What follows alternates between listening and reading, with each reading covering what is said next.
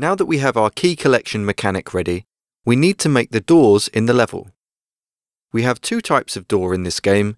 First, we have a single sliding door that will be for the normal rooms in the level, and secondly, we have a pair of double sliding doors for the lift at the end. First, we will make the single door. In the Models folder, start by locating the model Door Generic Slide. Drag and drop this into the scene view and position it at minus 6, 0, 7. Then double click its name in the hierarchy to focus on it in the scene view. You'll notice that it's rotated incorrectly, so put 90 degrees in the y-axis. Notice that the door is split into parent and child game objects. The child object has the mesh renderer on it, so here we will check Use Light Probes to give the door lighting. We want to add a collider to both the parent and the child game objects. First, the parent game object, which will remain stationary, needs a spherical trigger collider to detect when the player or an enemy is approaching the door. Select the parent object, choose Add Component, Physics, Sphere Collider. Currently it's too small and not quite centered, so we will adjust the collider slightly. Set the Y center value to 1 and set the radius to 3.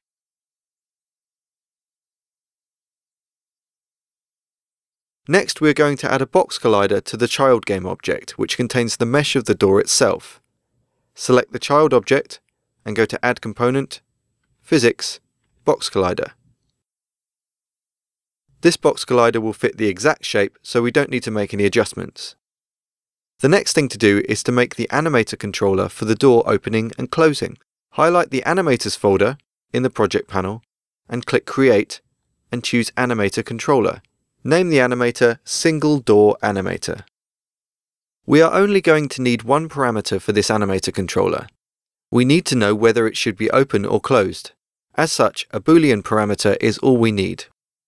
Open the Animator panel, and under Parameters, click the plus icon. Choose Bool, and name this Open. Next, we can drag in the animations we want to have as our states in the animator. Within the single door FBX there are two animations, closed and open. Open the Models folder and reselect Door Generic Slide. Click on the Animations tab at the top and you'll see closed and open animations. Both of these animations are actually just stationary positions that we want the doors to transition between. We want the default to be closed, so we'll drag that in first. Expand the model and drag in closed as the default state. And next drag in open. Now we need to be able to transition between the two states. To transition from closed to open, we need the open parameter to be true. Conversely, we need the open parameter to be false in order to transition back. So let's create these transitions using the open parameter as the condition. Right-click on Closed, select Make Transition, and click Open. Select the transition,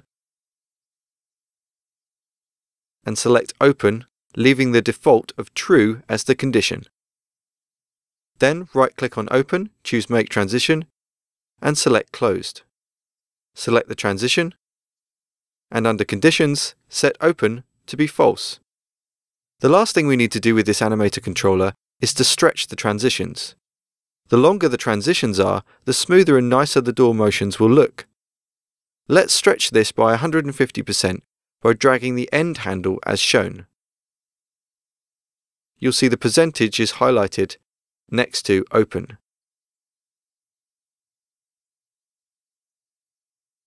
Reselect the first transition and do the same.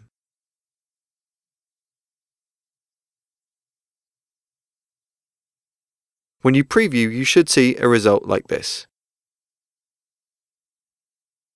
This simply means that the animation will take place over a longer period of time and the transition will occur more slowly. With the animator controller finished, we can drag this asset onto the animator component of our door. So reselect Door Generic Slide in the hierarchy, select the Animators folder in the project, and drag Single Door Animator onto the controller variable in the animator. One final thing we need to do is ensure that root motion is not applied, so uncheck the box here. Since the doors have colliders that are moving, we need them to have rigid bodies. We don't want them to be affected by collisions, so we'll make them kinematic. Select the child object and click Add Component, Physics, Rigid Body. Uncheck Use Gravity and check Is Kinematic. The doors are going to need to be able to play audio clips for when they are open and closed and for when the player is denied access. As such, we will need to add an audio source component. Reselect the parent object and go to Add Component, Audio, Audio Source. Next, we need a script to control when the doors are open and closed. We will call it Door Animation. Scroll to the bottom of the inspector and click Add Component and choose New Script. Let's call this door animation. Launch the script for editing. And prepare it.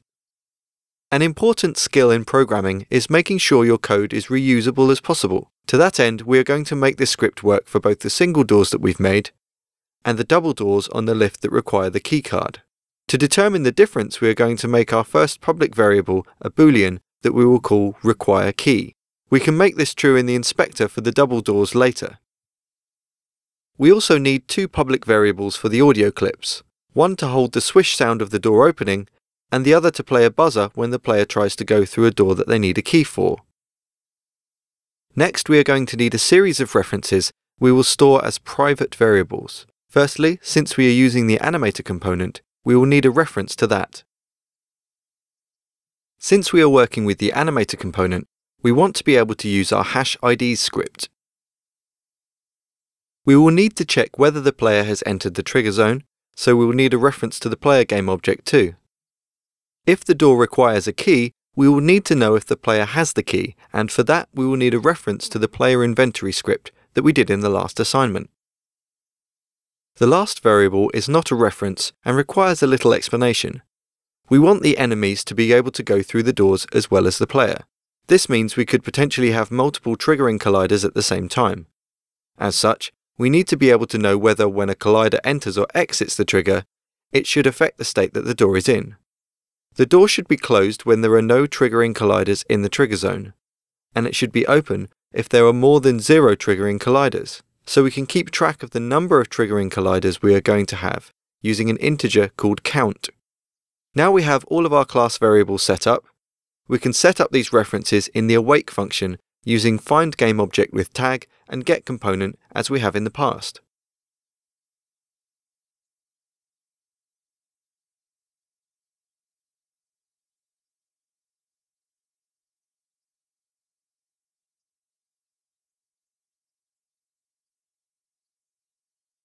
We are mainly going to use two functions in this script, onTriggerEnter to determine if the count needs to be increased and on trigger exit to determine if the count needs to be decreased. We will start with on trigger enter. Firstly, we need to check if the game object of the triggering collider is the player. If it is, then we need to check if this particular door requires a key.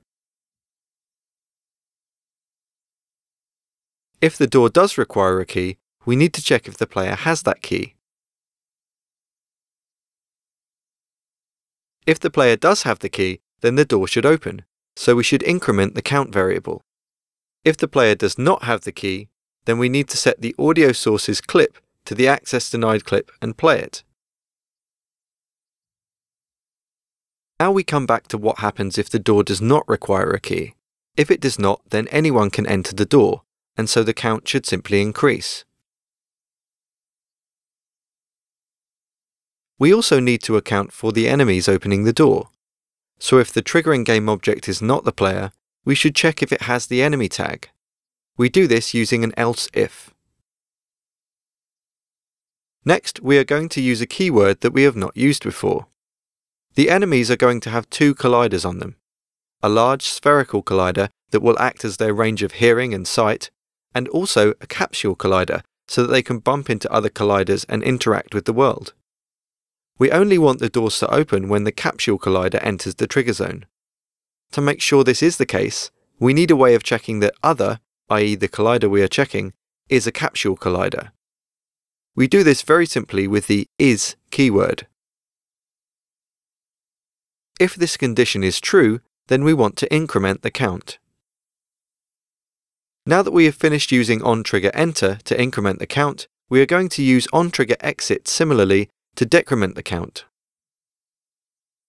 Since we don't need to worry about playing the access denied clip when the count is decreased, we can condense the conditions for decrementing the count. The condition is that if the colliding game object is the player, or if the colliding game object's tag is the enemy and the collider is a capsule, then we can decrement the count. Note here that we are using two vertical lines to represent OR. Under these conditions, we decrement the count. We want to make sure, however, that we don't drop the count below zero. Here we could simply say, if count is greater than zero, decrement the count. But we're going to look at a different way to achieve this, using the mathf.max function. This function takes a series of numbers and returns the highest. So if we give it 0 and the value of count minus 1, then if the count is already 0, it will return 0. For example, if our count is already at 0, minus 1 will be the lower of the two values, so count will be set to 0.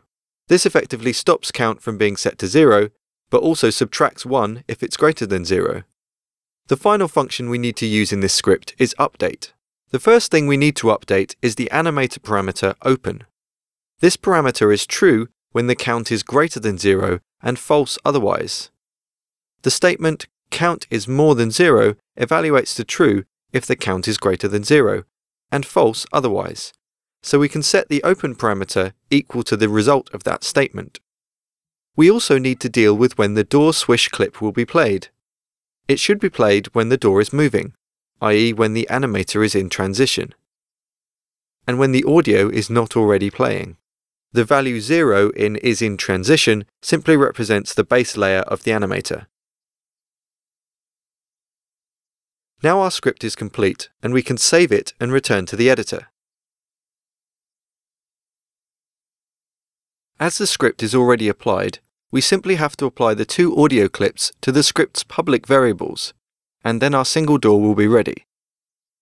In the script component at the bottom of the inspector, open the audio folder in the project panel, and drag and drop door access denied to access denied clip, and door open to door swish clip. Finally, we can drag this single door into the project folder in order to save it as a prefab. Drag and drop door generic slide from the hierarchy and drop it into the prefabs folder. Now we can position the rest of the doors around the level. Collapse the parent object of door generic slide and then select it. Go to Edit, Duplicate, or Command D on Mac or Control D on PC, and then position the duplicate door at minus 15.9, 0, 7. Duplicate once more, and position this door at minus 7.9, 0, 37. Now let's save our scene and project and test out our game.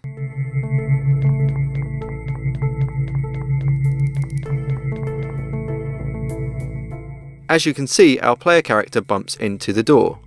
This is because we've forgotten to check is trigger on the sphere collider. Select any of the door generic slides and check is trigger on the sphere collider. Then hit the apply button at the top of the inspector. This will save the change out to the prefab, so that the other doors will now have this change. This is the beauty of using prefabs for objects that you're going to duplicate. If we play the game again, we should see that the doors now work.